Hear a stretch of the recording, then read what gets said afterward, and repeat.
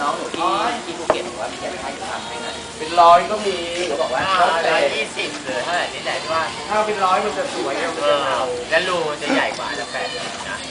แล้วที่ว่ามันจะไม่ค่อยแตกเลยเออแต่แยกมันไม่แตกเอาอย่างร้อยก็ได้เขาบอกว่าตกถุงก็ประมาณร้อยร้อยกว่าบาทได้สามสี่แต่ใช้สักสิบสิบห้าถุงก็พอไม่รับหัวก็โอนตังค์ไปเจเลยสักห้าพันเจ็ดพันแต่เพราะว่าก็ตัดชุดที่นี้ได้เพราะว่าไซส์เดียวกันอยู่ไหน แต่มันไม่มีมีแม่ก็เล่นวงที่ลังกาอ่างั้นงั้นงั้นเจ๊ดู